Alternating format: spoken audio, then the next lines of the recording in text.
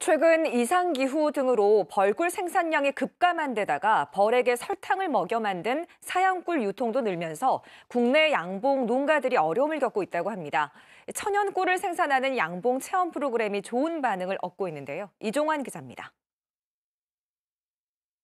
는 애벌레들이 잔뜩 들어있죠. 아, 예. 처음 양봉을 해보는 사람들 조심스럽게 벌통을 열고 봉판을 하나씩 올려 벌들이 잘 번식하는지 살핍니다. 혹여나 쏘이지 않을까 겁도 나지만 꿀벌 사이사이에 저장된 천연 벌꿀을 보면서 금세 체험의 재미에 푹 빠져듭니다. 물리지 않을까 이런 그런 조금 약간의 걱정이 앞섰는데 뭐 양봉 농장 사장님께서 잘 그 알려주시니까 편하고 좋았습니다. 군산시가 양봉 농가를 돕기 위해 지난 3월부터 양봉협회와 진행 중인 양봉 체험 프로그램입니다. 꿀 생산 과정을 체험하는 것은 물론 자신이 분양받은 꿀벌의 상태를 SNS 등을 통해 제공받을 수도 있습니다.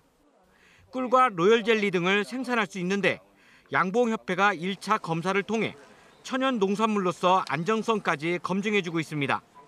가짜 꿀들이 그 사양수로 섞인 꿀들이 많기 때문에 그 꿀을 싹 빼내고 지금 천연 꿀만 받고 있는 그 과정이에요. 그래 중요한 거예요.